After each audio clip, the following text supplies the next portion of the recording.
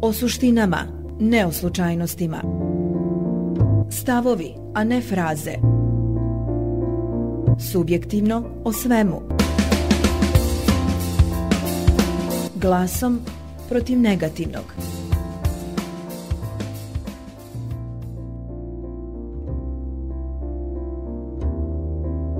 Pozdrav svima!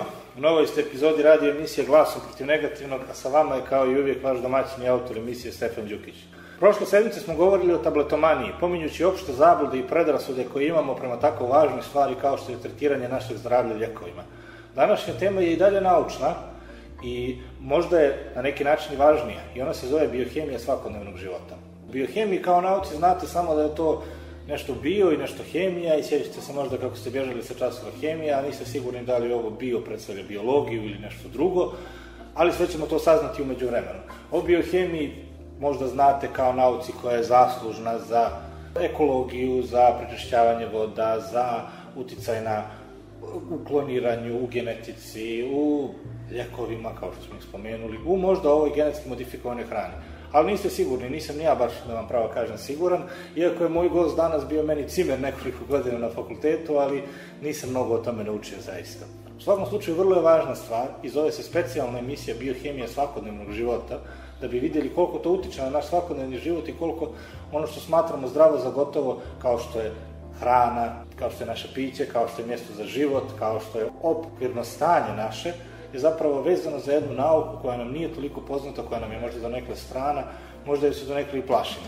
Moj današnji gost je doktor biohemije sa iskustvom rada na univerzitetima, institutima, laboratorijama u Beogradu, Barceloni, Groningenu i drugim mjestima naš sugrađanin, a moj, kao što sam rekao, bivši cimer, i kada su ga pokušavali odgovoriti od ovog poziva koji je izabrao, govorili su mu da će mu budućnost biti rad u laboratoriji za davanje krvi pri domu zdravlja. Tako da izgleda da je to ono što znamo o biohemiji, da je to laboratorija za davanje krvi. Njegov ime je Nikola Lončar. Nikola, dobrodošao. Zdravo Stefane, zadovoljstvo mi je da budem tvoj gost. I istina je da te 2005. kada smo mi upisivali fakultet, znači ima tome 10 godina, nisam ni ja sam znao nešto mnogo o tome šta je biohemija. Kao i svi koji upisuju fakultet, nemamo mi baš najjasniju sliku šta će, na šta će to da ispadne, čime ćemo se na kraju baviti. Nakon ovih 10 godina ja sam a, zaključio da sam napravio dobar izbor.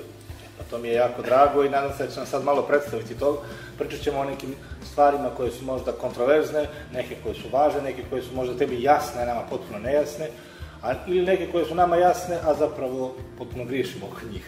Svakom slučaju, to moje prvo pitanje. Kada govorimo o biohemiji kao i bilo kojoj drugoj prirodnoj nauci, nastupamo negdje sa oprezom, sa strahopoštovanjem ili čak sa običnim strahom. Gdje sve nalazimo biohemiju? Na što sve ona utiče? To je složeno pitanje, a, zato što biohemija kao jedna nauka koja se izrodila na, na ivici biologije i hemije nije ni postala nešto specializovano, niti išla samo u jednom smjeru, nego se razvijala zajedno sa više drugih disciplina. Znači, danas biohemiju možemo da kažemo da imamo svuda oko nas. Znači, imamo je u proizvodnji hrane i pića, imamo je u fermentacijama piva, u proizvodnji mlečnih proizvoda, u proizvodnji bolje hrane, u proizvodnji suplemenata hrane, genetski modifikovane hrane, kao što se spomenuo ali isto tako imamo i granu biohemije koja se razvija ka biomedicini, ka novim ljekovima, ka liječenju virusa, genskoj terapiji. Danas imamo i nešto što je spoj biohemije i elektronike gdje imamo biosenzore gdje se koriste biološki elementi za pravljenje senzora za kontrolu kvaliteta vode, namirnica u diagnostici. Tako da ona je jedan mali ogranak koji je svima poznat, biohemija medicinska za, za diagnostiku krvi i urina, tako? To je grana koja se ne razvija toliko, koristi se samo za diagnostiku, ali je jako, jako mala bočna grana cijelove nauke. Znači, uopšte nije, nije toliko važna niti prevashodna. Mislim, važna je za onoga kome treba, ali za samu biohemiju nije. Važno je da, ali to je robotizovan proces gdje u principu čovjek i nije naučnik biohemičar, to je operator na mašini, tako da nije, nije vezana za, za biohemiju uh -huh. per se. Kao što vam ne treba neki kibernetičar da upravlja nekim robotom u fabrici, nego to može da radi Tako tehničar obučen. Tako. Da, kojim slučajem, dakle, biohemija se nikad nije razvila, e, kako bi to utičalo na naš život, odnosno da li bi neke druge nauke mogle da popune tu praznijenu ili bi jednostavno e, zavisili mnogo od sreće i od nekih e, slučajnosti? Pa da ona nije nastala, nekako bi ponovo nastala. Zato što ona nije nastala kao, kao nauka zasebna, nego iz nemogućnosti drugih nauka da ostanu u svojim okvirima. Dakle, hemija nije mogla da ostane toliko u svojim okvirima i biologija nije mogla da ostane sama za sebe. Taj neki spoj koji se desio je uticao na razvoj biohemije. U početku to su uglavnom bili školovani hemičari koji su naginjali ka biologiji. To je neka tradicionalna škola biohemije. Isto tako na, na fakultetu gdje ja sam studirao, to je hemijski fakultet sa smjerom za, smjerom za biohemiju. Dakle, to su hemijsko usmjerenje ka, ka a, biološkim a, efektima. Ima drugih škola po, po svijetu koje su se razvijale iz biologije ka hemiji, ali dvije strane jesu komplementarne, ali ne, ne izmjenjive.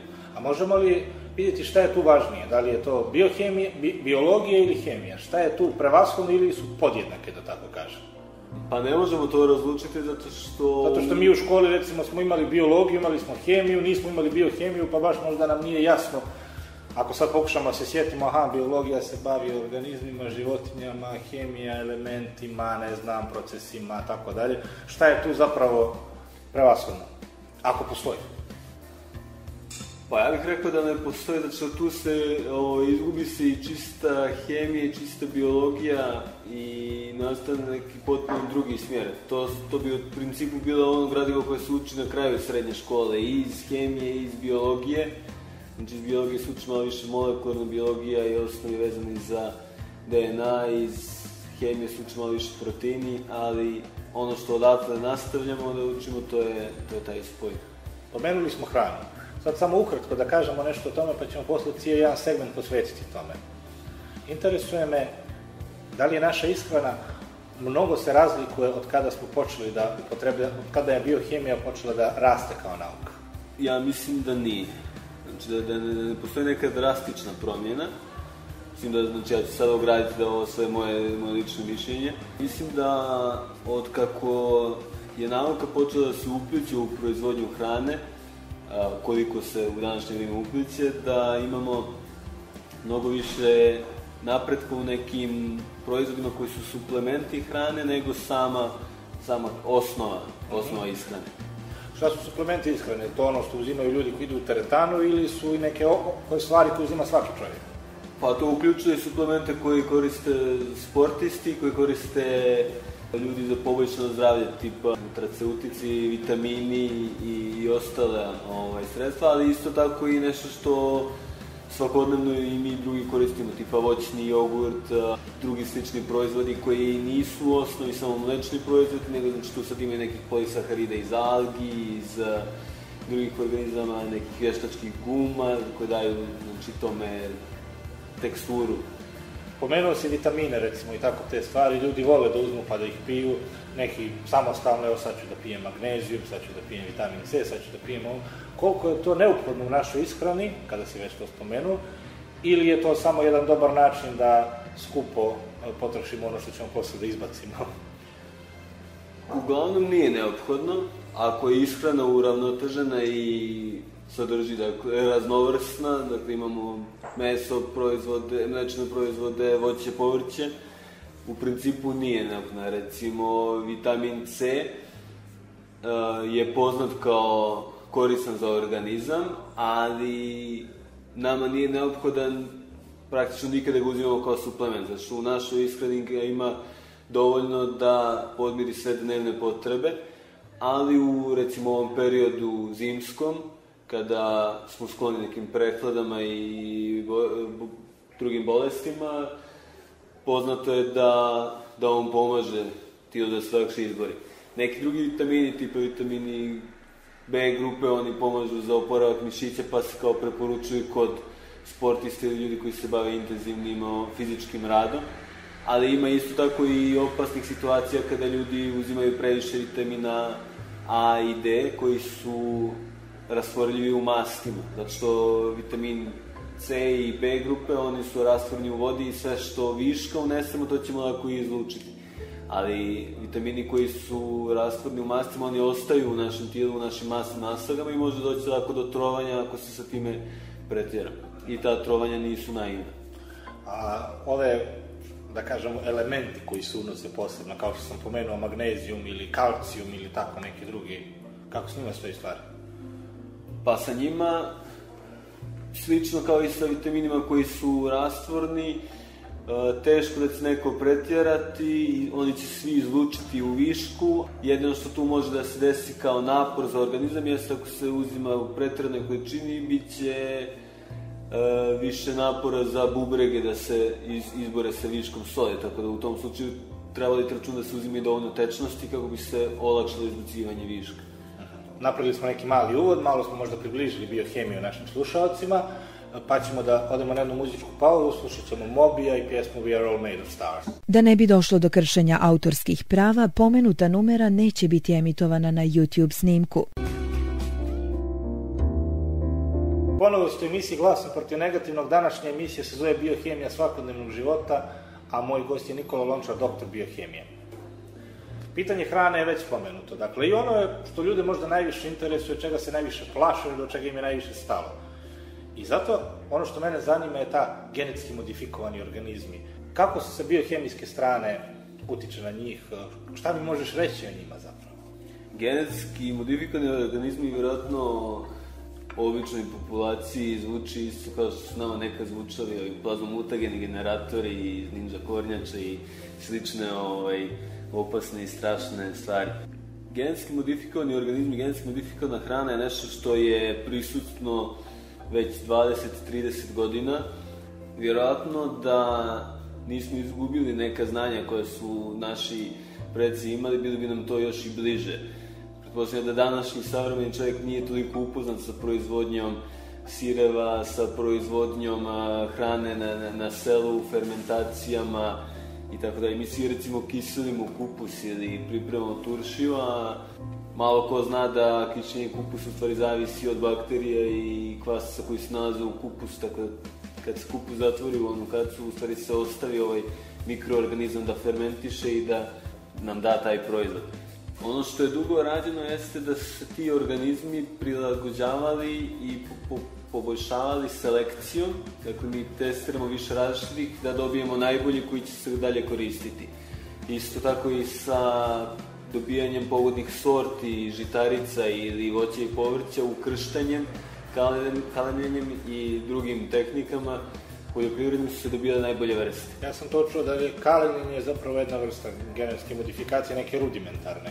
U principu jeste kalemljenje ili ukrštanje sorte bi se dobila druga, isto tako i kod životinja. Znači, mazga je na neki način genetski modifikovani organizam, zato što imamo dvije vrste koje su dale treću. Kad su naučnici došli do toga da mogu samo jedan ciljani segment iz jednog organizma da prebace u drugi, znači došli smo do nivoa promjena na, na nivou genoma, znači uzmemo samo jedan gen za određeni protein ili za određenu karakteristiku neke vrste i prebacujemo u, prebacujemo u drugu, da bismo je poboljšali, tako smo dobili genetski modifikovanu hranu, odnosno organizam. Tako da, ako imamo prebacivanje, recimo, karakteristike iz jedne biljke koja je otporna na nekog insekta u drugu, kako bi on, taj usjev pre, preživio i dao veći prinos, znači to je sad već genetski modifikovana hrana. Ima tu dosta kontraverzi i ja mislim da najveći problem u današnje vrijeme jeste da ljudi koji se protive, odnosno koji se bore protiv genetski modifikovane hrane, to rade na pogrešan način. Znači, ne kažem da ni da treba podržati, ni da treba biti protiv, ali ako se borimo protiv nečega, onda to ne treba da radimo unošenjem zabluda i panike među ljudima. Znači, ovo nisu opasne stvari, svi mi koristimo, recimo, jedemo sir danas koji kupujemo, on se pravi enzimom koji se dobija iz genetski modifikovane bakterije. Dakle, nekad se sir pravio, znači za siranje se koristio renin koji se dobijao iz želuca teladi, ali pošto je tolika proizvodnja sireva i tolika ovaj, potrošnja, znači ne možemo da zakoljemo dovoljno teladi da dobijemo toliko tog enzima. I već od 88 se taj enzim pravi rekombinantno u nekim drugim bakterijama i koristi se 95% sira danas se pravi korišćenjem tog enzima. Gdje možemo da rađemo tu zapravo genetski modifikovanu hranu? Šta je ona? Treba razlikovati genetski modifikovanu hranu koju koristimo i hranu koja je dobijena pomoću proizvoda koji se dobijaju od genetski modifikovanih organizama. Zato što imamo, dakle, kvasi bakterije koje prave, koji su genetski modifikovani da prave određene proteine i enzime i mi onda koristimo samo taj proizvod. Isto tako, antibiotici i mnogi ljekovi se dobijaju iz genetski modifikovanih organizama, ali tu koristimo samo proizvod, a ne i sam organizam. Dobro. Kad govorimo o hrani, onda se tu koristi sam organizam koji je genetski modifikovan. Da li je to pšenica, kukuruz, soja ili neke druge vrste. Na našem tržištu u principu ne bi trebalo da postoje genetski modifikovana hrana. Znači, kontroliše se uvoz soje, kukuruza i o, ostalih žitarica i zabranjen je za sada uvoz genetski modifikovanih proizvoda. U Sjedinjenim državama, na primjer, 2015. preko 95% svih usjeva kukuruza, soje, pamuka i još nekih drugih vrsta su genetski modifikovani. Ali većina od ovih proizvoda se ne koristi direktno za ljudsku ishranu, nego za ishranu stoke, pa se onda dakle, ta stoka koristi dalje za, za ljudsku ishranu. Rekao si da o tome treba razgovarati, ali treba razgovarati na neki normalan način, dakle, informisano. I ja sam došao na neki zaključak ranije, kao laik, i evo sad u ovom razgovoru mi se opet taj zaključak nameće, da sam proces, znači sama ideja genetski modifikovanih organizama je pozitivna. Korišćena u ishrani bilo kao proizvod kao, ili kao sredstvo, ali da način na koji se koristi ono zapravo što podiže sumnju. I onda se zapravo postavlja sledeće pitanje. Ako je on tako neophodan, znači ako je to jedna realnost, zašto onda se nameću zakoni da se njegovo isticanje zaštiti? Kako to da se sve u tome patentira i da na kraju kada mi vidimo te sorte genetski modifikovane žitarica, soje i ostale pšenice, vidimo da je to vezano za 5-6 nekih svjetskih korporacija, među kojima se jedna posebno ističe koja je poznata po proizvodnji pesticida i insekticida. Da li možemo da vjerujemo njima da neće zloupotrebiti to? Ima li mogućnost zapravo zloupotrebe? Vjerojatno da zloupotreba postoji. Dakle, korišćenje pesticida, kreiranje veštačko potrebe da, da, da se napravi rezistentna vrsta, jeste jedna od opcija koja je vjerojatno i realna. Zašto postoji potreba da se patentira? To je manje više očigledno. Dakle, sva proizvodnja hrane, bilo da je GMO ili ne, se vodi zaradom, naravno. Dobijanje takvih organizama je skup proces i nauka iza toga je dugotrajna i zahtjeva dosta ulaganja. Svaka kompanija koja uloži neki novac u razvoj toga će prvo pokušati to da patentira, zato što za kompaniju na prvom mjestu je zarada. Ali mislim da panika koja u javnosti postoji od toga da će se nama nešto prodati što je otrovno samo e, zbog nečije zarade, mislim da je malo prenagljene i pretjerane. Postoje neki projekti koji su razvijeni od neprofitnih kompanija, Međunarodni institut za pirinač, koji je razvio pirinač koji zove zlat, zlatni pirinač, koji proizvodi i beta karoten, dakle oni naravno ste boje, ima beta karoten koji je prekursor vitamina, koji se nalazi u šargarepi recimo, ali u mnogim predelima svijeta postoje i opšti deficit, a taj vitamin je neophodan za pravilan rast djece. Postoje neki podaci svjetske zdravstvene organizacije da preko 600.000 djece do 5 godina umire od nedostatka ovog vitamina i taj problem bi se možda riješio jednim dobrim dijelom dakle, samo korišćenjem ovog pirinča u ishrani, ali zbog opšte bojazne javnosti taj projekat stoji na, na stand-by već deseta godina. Tako da, čak i kad postoji projekat koji nije vođen profitom, i dalje postoji, postoje neke prepreke da se, da se to iskoristi. Dobro, jasno je, znači, sa te strane da sigurno je taj veliki strah, što je opet i ne, normalno kod ljudi, jer ishrana nije nešto što i koristimo jednom nedeljno ili jednom mjesečno, pa ne treba da se brinemo. Ali mislim da je glavni, glavni zapravo problem taj uzročno-posledični, da li je potrebna hrana da bi se prodao taj dodatni pesticid ili taj pesticid potreban da bi se hrana na kraju stigla do većeg broja ljudi. Da li su GMO proizvodi, čak i ako su najgori mogući, jednostavno cijena za prehranu 7 milijarde stanovnika. Možemo li mi tradicionalnim metodama da nahranimo cijelu svjetsku populaciju koja će samo ići pod gore? Vjerojatno da možemo da, da prehranimo i, i bez korišćenja GMO hrane. Makar zemlje koje su privilegovane da se nalaze u geografski podobnom području za, za poljoprivredu, bi to trebalo da iskorišćavaju maksimalno. Postoje zemlje u EU koje ne, ne koriste uopšte GMO i ne postoji uopšte debata, tipa Holandija, zato što oni jednostavno imaju tradiciju da sve poljoprivredne vrste dobijaju ukrštanjem i oni su recimo i ponosni na tu svoju tradiciju ukrštenja dobijanja dobrih vrsta, da jednostavno ne postoji potreba za korišćenjem GMO proizvoda. Jednostavno, na, dobrim navodnjavanjem i dobrim odabirom vrsta postiže se maksimalan prinos.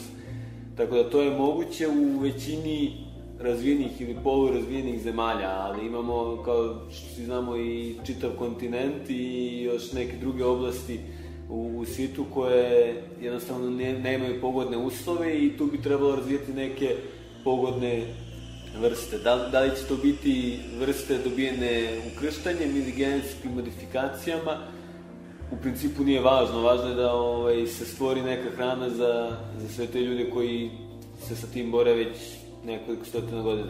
Koje su mjesta gdje bi mogli da se informišemo, da se dobro informišemo? To je teško reći. Ja mislim da danas ne postoji dobar izvor informacija, zato što ako pokušate da pretražite recimo internet, naićete ili na sajtove koji se protive tome u ekstremnoj mjeri ili na one koji to zastupaju. Tako da ne postoji neki objektivan izvor ili ako postoji nije toliko lako doći do njega i naći.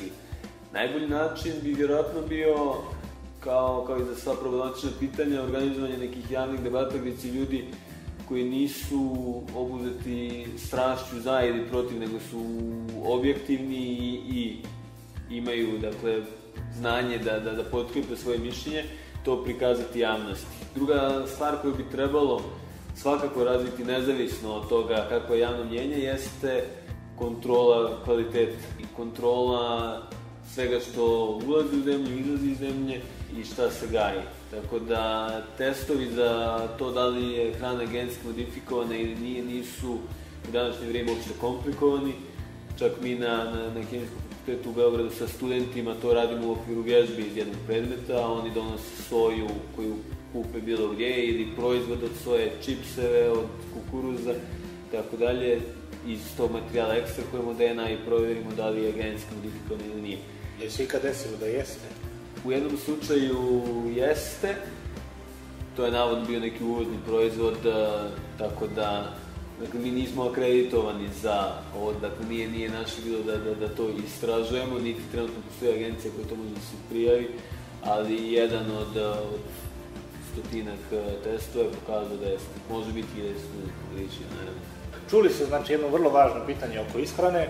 Mislim da možemo dati, vezano za ovaj segment priče, jedan jasan zaključak da s jedne strane genetski modifikovane organizmi su neophodni, ali s druge strane jako je veliko pitanje i zato treba povesti debatu koji su to organizmi, kojim organizacijama trebamo da vjerujemo i ko je taj koji će da nam prodaje te organizme. Sad ćemo otići na drugu muzičku pauzu, slušat ćemo Blur i pjesmu Chemical World, pa se vraćamo dalje. Da ne bi došlo do kršenja autorskih prava, pomenuta numera neće biti emitovana na YouTube snimku.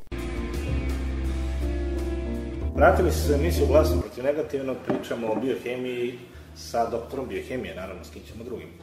Pomenuli smo na početku i ekologiju, mi smo ekološka država, pa nam je to sigurno jako važno i interesantno, ali i na globalnom nivou jasno je da se proizvodi više smeća nego ikad.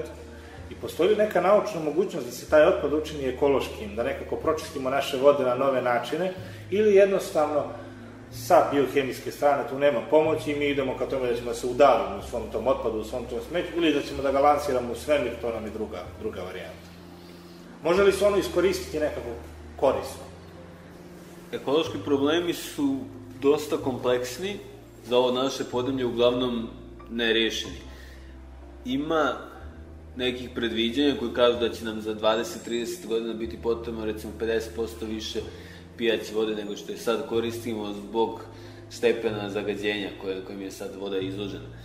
Voda se dobija pijaća gdje, gdje je to moguće iz izvora, pitke vode, ali uglavnom se dobija prečišćavanjem vode iz rika, jezera i tako dalje. Ti sistemi za filtraciju i prečišćavanje su dosta napredni.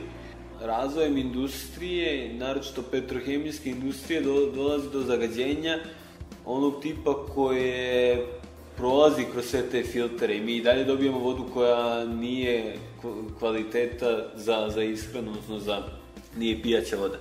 Problem smeća, ono koje je fizički otpad, bi trebalo rešavati naravno recikliranjem ili spaljivanjem. Ima zemalja u, u Evropi, kad smo Švedska i Norveška, su zasnivale skoro potpuno svoj sistem za, za centralno grijanje na, na spaljivanju smeća. Sad, prošle, pretprošle godine je bio slučaj da su kao zemlja jednostavno ostali bez smeća, nemaju više šta da spala, zato što sve što su imali su za to iskoristili.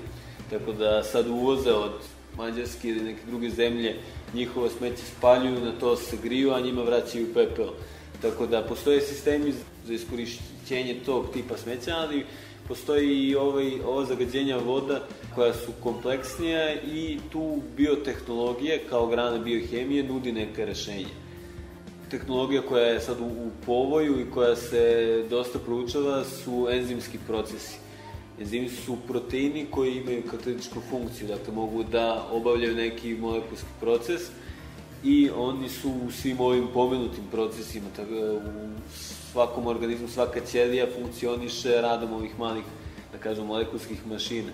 Stoje enzimi koji su odgovorni za, recimo, tamljenje biljaka, kad presečete krompir ili, ili jabuku, pa oni potamne. To, se, to je posledica oksidacije fenola, znači malih molekula koji se nalaze u bijici i oksidacija putem ovih enzima sa kisonikom iz vazduha dobijamo zaštitni tamni sloj iz iste grupe jedinjenja tih fenolnih su i najgori zagađivači u principu insekticidi, herbicidi, fenoli iz petrohemijske industrije kada se ispuste u otvorene vodene tokove, jako male koncentracije, odnosno male količine zagađuju ogromne zapremine vode i tradicionalni načini za, za njihovo uklanjanje su ili neefikasni ili jako skupi. Dakle, neka adsorpcija gde se propušta sva ta voda kroz aktivni ugalj, gde kroz, kroz ugalj, gdje se ti fenoli vezuju za taj ugalj i onda se to posle spaljuje.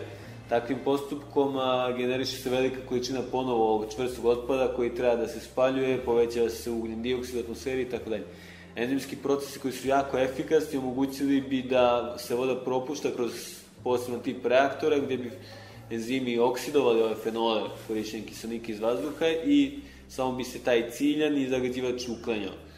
Mi smo razvijali neke tehnologije u, u grupi profesora Zorana Vujičića na Hemijskom fakultetu imamo i za iste oblasti nekoliko obećavajućih rezultata, ali je problem što naučna dostignuća u u ovom podneblju, a i inače često ostanu na, na nekom čekanju dok se ne pojavi neko ko je voljan da to i primini na nekoj većoj skali.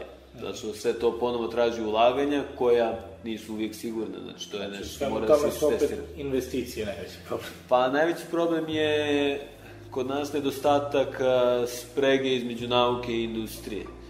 U svijetu danas nauka stremi ka tome da se finansira uglavnom iz industrije, dakle to su projekti koji su aplikativni i dalje postoji projekti koji su fundamentalni, to su uglavnom biomedicinski, koji rijetko nađu rešenja, ali kad nađu to je rešenje od opšteg interesa, ali ovi drugi projekti uglavnom zavise od toga, znači moraju da budu primjenjivi u nekom kraćem roku. Nije pročišćavanje voda fundamentalni interes možda i više nego medicinski. Jeste, ali mi svi za sada ne shvatamo koliki je to problem, što pijaće vode imamo dovoljno u ovom dijelu svijeta, time smo privilegovani i ne vidimo da je to problem koji ovaj, čeka da, da ga shvatimo.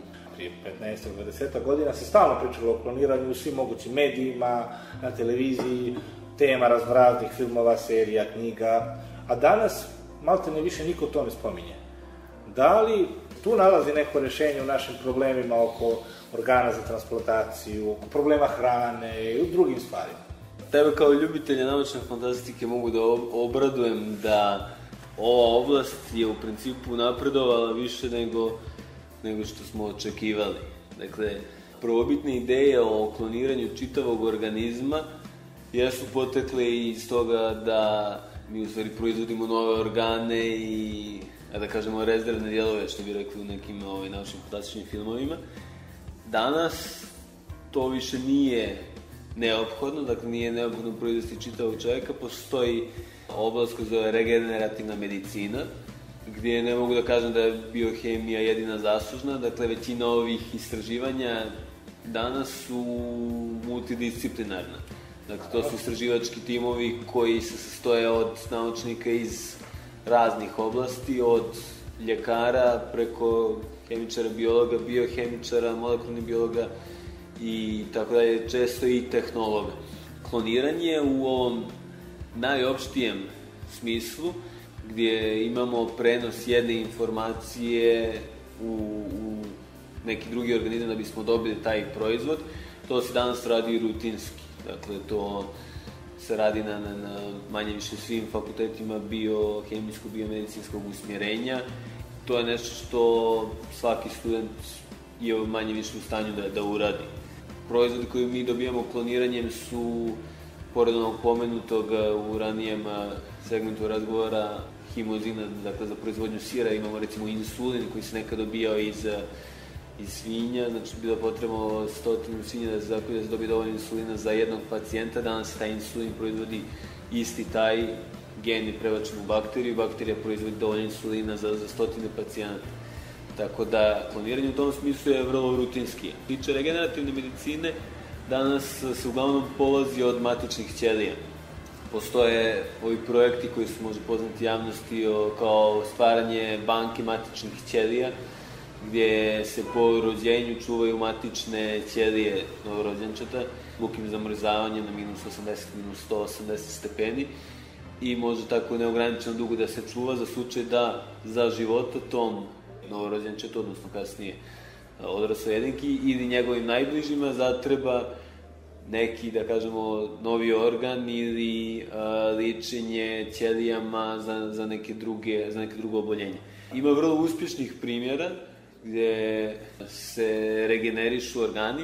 Jedan od zanimljivih primjera je od prije 5-6 godina, gdje je čovjek koji je bavi se iz hobija aviomodelarstvom i odsečan mu je prst na jednom od tih takmičenja, a igrom slučaja njegov brat je u jednom od, tim, timova koji se bavi istraživanjem za regenerativnu medicinu i on mu je dao taj prah koji je u stvari dobijen iz mokricne bešike svinje. A, ovaj povređeni gospodin je mazao, mazao taj svoj prst nekoliko nedelja i on je vrh prsta i on je malo po malo izrastao. Znači, potpuno novi prst. On nije mogao da nađe u tom, na tom polju gde se takmičio svoj prst pa da mu samo ušio. Dakle, on je ovo mazao i umjesto da dobije ožiljak, odnosno tkivo koje zaraste, ovaj prah je stimulisao ćelije da se ponovo dijeli, znači on je dobio vrh prsta, otisak prsta i čitavu jagodicu. A ima li nade za nas koji smo se rodili malo ranije? Nije bilo vrijeme kad su nam čuvali matične ćelije. Postoji li neki način za nas, izuzev te svinjskih mokritnih Postoje različni način da se izoluju iz samog pacijenta i danas matične ćelije i da se one koriste. Matična ćelija su u stvari u nauci zove pluripotentna ćelija, što znači da iz jedne ćelije koja nije razvijena, nije diferencirana, dakle nije poprimljena nikakav oblik, mi možemo da dobijemo sve ćelije našeg organizma. Dakle, u svakoj ćeliji u našem tijelu imamo isti sadržaj DNA. Dakle, naš genom je isti u svim ćelijama. I u zavisnosti toga kako se ta ćelija stimuliše, ona će postati ili epitel, dakle ili koža, ili će postati hepatocit, dakle ćelija jetre, ili će postati krvna ćelija, ili mm -hmm, znači, kosta, dakle... Može biti bilo šta ako na. Tako je. I te matične ćelije se u principu stimulišu vještački da idu ka nekom od tih, od tih puteva i tako se dobije, tako se postiže u stvari regenerativni, regenerativni efekt. Tako da i kod nas oni se obično izluži iz kostne srži i odatle ovaj, se, se dalje gaje u laboratorijskim uslovima prije nego što se tretiraju. Pozivam vas da ponovo čujete emisiju e, emitovanu e, početkom juna 2015. godine gdje smo govorili o genetici, pa smo baš možemo da povežemo ove dvije stvari, čujte jednu i drugu, pa razmislite u kakvim vremenima živimo i šta nas sve očekuje zapravo. Ovo više nije, nisu naučno-fantastični scenariji, nego je život naučno-fantastičan. Umeđu vremenu slušajte Kraftwerk i pjesmu Radioactivity i onda idemo u finalni segment naše emisije. Da ne bi došlo do kršenja autorskih prava, pomenuta numera neće biti emitovana na YouTube snimku. U poslednjem smo segmentu radi emisije Glasom protiv negativnog, pričamo o biohemiji, naša tema se zove biohemija svakodnevnog života, a sada će pitanja biti vezana ne baš toliko za svakodnevni život u ovom trenutku, ali će vjerojatno biti svakodnevni život za 10, 15, 20 godina, možda i kraće. Šta je to genska terapija? Je li to isto dio neki biohemijski koji može da pomogne našim životima, ljudima i da promijeni situaciju oko nas? Genska terapija je jedna nova oblast, dakle oblast u, u povoju, koja se za sada koristi, dakle postoji klinička ispitivanja, uglavnom za bolesti koje su neizlečive ili teško izlečive, ali se razvije za mnogo drugih, mnogo, mnoga druga boljenja i mnoga druga stanja, gdje se u stvari ispravlja neka greška koja nastaje statistički, dakle koja postoji, mislim ne nastaje statistički, ali nastaje u razvoju organizma Na domenu je statistike, desi se jednom u 100.000 Desi se jednom, da, da, bitna je statistika zato što u zavisnosti od te statistike, iskreno govoreći, zavisi od toga koliko će sredstava i napora biti uloženo u razvoj, znači, tog nekog tretmana. Genska oboljenja su, da ih malo objasnimo, kada se razvije organizam koji je potpuno isti kao i, i svi drugi prosječni u populaciji, ali postoji greška u jednom genu. A, jednostavan primjer je netolerancija na laktozu koju ima dosta ljudi statistički značajna gdje ne mogu da konzumiraju mlijeko i mlečne proizvode zbog nedostatka enzima koji može da konvertuje laktozu, što je znači, mlečni šećer. Netolerancija na laktozu je genetska To je bolest. genetska bolest, dakle nedostatak jednog enzima koji može da razloži prost šećer koji je sličan saharozi koji svaki dan koristimo, ali naziv su mliku. A drugi primjer, recimo netolerancija na alkohol koja je poznata kod pripadnika populacije u Aziji koji ima isto nedostaje samo jedan enzim, dakle genska je osnova, znači njima nedostaje alkohola dehidrogenaza, enzim koji je odgovoran za konvertovanje alkohola, tako da ono što je njima jedna čašica je nekome u Evropi 5-6, dakle oni mnogo brže osjeti dejstvo alkohola zbog tog nedostatka. Može li, to, može li to da se uradi unazad, pa ko, voli, ko ne voli puno da pije, ali voli da se napije, da, to, da se prebaci na taj azijski model? To je moguće, ali vrlo neisplativ proces. Siguran sam da postoji lakši način da se ovaj neko... A dobro, ako, ako neko računa, znaš, ono, toliko života, koliko bi popio, koliko bi popio ovako, samo da dostigne period alkoholizma, možda bi mi se isplatilo. Da, Zavisno koliko bi koštala ta terapija. tako je. Za Možda sad... ima dosta mušterije. Što se tiče ovih a, genskih bolesti, ova dva primjera su jednostavna, ali ne zahtijevaju gensku terapiju. Dakle, dovoljno je da neko izbjegava mlijeko ili koristi mlijeko koje je tretirano, dakle, tamo isto gdje je umještena sad biohemija, pa se dobija to mlijeko bez laktoze. Ljudi u Aziji jednostavno manje piju ili više uživaju.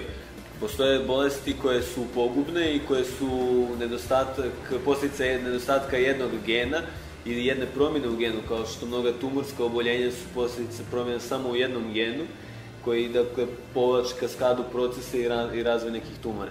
Genska terapija tu nalazi e, primjenu tako što se tijelu dostavlja ispravan gen putem nekih sad virusa, najčešće, iskorišteni su neki virusi koji su benigni za organizam da budu nosioci ispravnog gena. I, dakle, mi sad namjerno inficiramo cijeli tim virusom da bismo dostavili taj ispravan gen.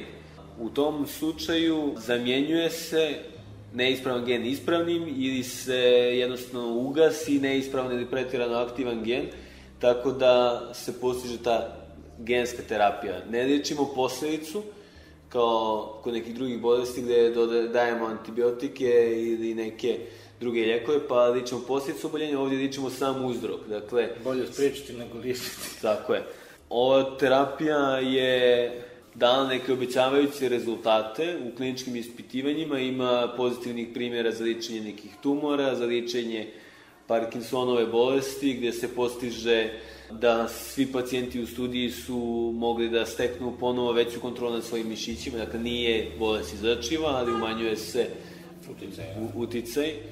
Tako da genska terapija svakako jeste nešto u šta vridi ulagati, ulaže se i obećavajuće. A da li je to znači neki, neki vid, kako da ćemo ići u budućnost? Ja sam rekao šaljivo, bolje skrišiti nego ličiti, ali da li to znači da postoji mogućnost da zapravo mi izmjenom tih gena, odnosno terapijom nakon rođenja, predupredimo većinu bolesti? Ozbiljnih bolesti. Ja sad ne, nema potrebe da ličimo običnu prehladu, ali postoji mogućnost da se to uradi, ali sad dolazimo ponovo do onoga o čemu smo razgovarali kad smo pričali o GMO hrani, a to je mogućnost zloupotrebe. Postoji mogućnost da se skenira genom i budućeg embriona, odnosno budućeg novorođenčeta i da se vidi koje su predispozicije za određene bolesti, za pol i tako dalje, što se negdje već i zloupotrebljava, pa se utvrđivanjem pola ovaj, zaustavljaju trudnoće ako nije željeni pol i tako dalje, što je sad već zloupotreba i neka eugenetika gdje u stvari ne želimo da čovečanstvo ide. Za nas koji već jesmo tu na, na, na zemlji, postoje i drugi načini. Ono što je nekad bio vrlo ambiciozan projekat i veliko dostignuće čovečanstva, to je sekvenciranje humanog genoma, gdje je čitav humani genom postao poznat i što je bio projekat vridan milione i milione, stot, možda i stotine miliona dolara. Danas imamo a, mogućnost individualnih genoma gdje ti i ja možemo za po hiljadu ili dvije hiljade evra dolara da sobstveni genom sekvenciramo i da pretražimo na potencijalne ovaj, mogućnosti za, za sva podnuta oboljenja. Može da se iskoristi da neko prilagodi svoj način života ili da povede računa kako bi nešto spričio. Dakle, poznato je koji su dakle, rizični načini života za kao povoljne predispozicije za neke bolesti, tako da to bi moglo da se, da se spriča. Onda bih te pitao i sledeću stvar. Šta su, dakle, izazovi sa kojima se biohemija suočava u budućnosti? Šta su problemi i kojim putem, po tvom mišljenju, bi ona mogla da se kreće? Mislim, putevi su vjerojatno bezbrojni, ali koji je neki trenutno najrealniji mogući put? Jedan od najvećih problema danas, koji je malo paradoksan u odnosu na, na prije 20-30 godina, jeste što imamo previše informacija. Dakle, kao što sam rekao, recimo, ovaj, humani genom koji je bio veliki projekat, mnogo, mnogo ljudi je bilo uključeno na, na, na njemu da se samo dobije ta informacija o humanom genomu i to je trajalo nekoliko godina ta trka između dva koncerna koji su se temi bavili. A danas imamo podatke koje dobijamo dakle za nekoliko dana ili za jedan dan to su količine podataka koje su enormne, a koje mi ne možemo da obradimo. A ista stvar je bila, znači, ovo emisija o neuronauci, bukvalno ista misao, dakle, da nauka je stigla do nekle, ali sada tehnologija ne može da je stigne. Sada čak i najpametniji, najbolji, najveći superkompjuter ne može da izračuna sve ono što se uzima iz mozga i što je nauka došla, znači ista je situacija i u biohemiji. Tako je, tako je. Ja se slažem sa, sa Zokijem što se tiče toga. Dakle, postoji sad potreba da se uključi komputacijona nauka, dakle, postoje i posebne oblasti, sad i biohemija i ostalih nauka, dakle, komputacijona, odnosno računarska, da kažemo, biohemija, gdje se računaju modeli, gdje se obrađuju svi ti podaci, postoji bioinformatika, koja mora da radi u sprezi sa naučnicima koji su u laboratoriji. Imamo dvije vrste, da kažem sad, biohemičara, onih za kompjuterima i onih za u laboratorijama, tako da mora da postoji sprega svega toga, kako bismo mi iz svega toga izvukli rešenje problema. A osim toga, znači, kada ne bi bio problem samo kompjuter, šta je neki glavni izazov i šta je glavni predmet istraživanja? Potreba da se sad investira u istraživanja koja su primjenjena je, malo izazov, je pomalo izazov. Zato što fokusiranjem samo na ono što će dati konačni gotovi proizvod koji može da se plasira na, na tržišti ili da se nekako iskoristi, jeste malo zamka koja povlači zanemarivanje neke druge oblasti. Tako da, pored toga imamo i potrebu, odnosno imamo rastući broj naučnika i naučnih institucija koji se takmiče za ograničeni broj sredstava za, za finansiranje nauke. Tako da imamo neko zasićenje tržišta brojem naučnika koji se bave raznim oblastima i možda bi bilo dobro, ali to naravno nije, nije moguće u praksi, fokusirati istraživačke napore na, na nešto što su prioriteti. Ali kako odlučiti šta je prioritet i kako znati da nešto što mi, da rizikovati da nešto što mi danas proglasimo da nije prioritet, a u stvari će dati rešenje za neki veliki problem, to jednostavno nije moguće. Znači, glavni izazov je zapravo posredni, dakle, tehnološki i budžetski, prije svega. U principu da. Znači, da. to je zapravo prije pitanje onda za državu, za međunarodne organizacije kao što su Ujedinjene nacije ili njihova, njihova tijela, pa onda za biohemičare same po sebi. Da vas pustimo same tamo po laboratorijama, vi biste već nešto smislili. Tako je. Pa, mislim da ovo, ove dvije oblasti koje se razvijaju u biohemiji, a to su biotehnologija i biomedicina, su ispravni pravci, zato što jedan ide ka istraživanjima vezanih za hranu, ishranu, ekologiju, a drugi ka medicinskim primjenama, da je to ispravno. Kao što smo i pomenuli, ima dosta obećavajućih pravaca. Ima nekih stvari koje se rade u nauci, a nemaju za cilj nikakav altruizam niti ikakvo naučno stignuće, nego jednostavno tržište. Tako je recimo bio veliki projekat u Japanu da se dobije plava ruža. Znači, postoji jedna posebna nijansa plave koja je omiljena u Japanu. Jednostavno ne može da dobije ukrštanje. I čitao tim naučnika se bavio tim problemom nekoliko godina, uloženo je par miliona evra da se dobije ta plava ruža, da se dakle izmeni čitav put biosintetski u toj biljci, da se dobije ta nijansa plave. I oni su i uspeli to da dobiju i sad imate u, u Japanu ruže, jedna plava ruža košta stotinak dolara i to je projekat koji se isplaćuje kroz taj tip tržišta. Pa dobro, možda će s druge strane to dovesti do istraživanja nekih bitnijih stvari, možda nu, nus produkt, zapravo pravi produkt tog istraživanja, nešto što se može iskoristiti u drugim terminima. Naravno, ovo je bio izuzetno zahtjevan poduhvat i dobiti taj, taj proizvod je iziskivalo da se riješi nekoliko važnih sintetskih puteva u biljci, što se sad koristi u nekim drugim istraživanjima. Imate travu koja se pravi da se sije po minskim poljima zato što može da razgrađuje trinitrotoluol i da se tako postepeno uništava, uništavaju mine i eksplozivi koji su tamo ovaj, ostavljeni kao posljedice nekih prethodnih ratova. Tako da... E pa ako ste počeli dakle sa strahopoštovanjem prema biohemiji, završite ga tada sa strahopoštovanjem, zato što ćemo hemijski ili da razgrađujemo mine i da dobijemo plave ruže, osim svih ovih drugih stvari da odemo sada da se sekvenciramo i da vidimo kakve nas bolesti čekaju, mada znajući naš narod, vjerujem da nam to ne bi puno učinilo, samo bi izgubili pare i nastavili da živimo kao što smo živjeli, možda se malo više nervirali zbog svog tipa života, ali u svakom slučaju, eto, sada malo više znamo, imamo više razumijevanja, ako sluša ovo neki političar možda će da da malo više novca za to, iako naravno Crna Gora nije neka istraživačka vele sila, ali sigurno svaki doprinos je dobrodošao. Svakom slučaju, Nikola, tvoj doprinos je bio jako dobrodošao ovdje, puno ti hvala što si gostao u mojoj emisiji. Sledeće sedmice se vraćamo u poznate vode, pričamo opet o medijima, o šoku u medijima, a ko želi naučne emisije neka čuje ovu ponovo, neka čuje prethodnu, neka se vrati na prošlu sezonu i čuje emisiju o neuronauci, a bit će ih još i u budućnosti. Hvala vam svima i čujemo se sledeći put.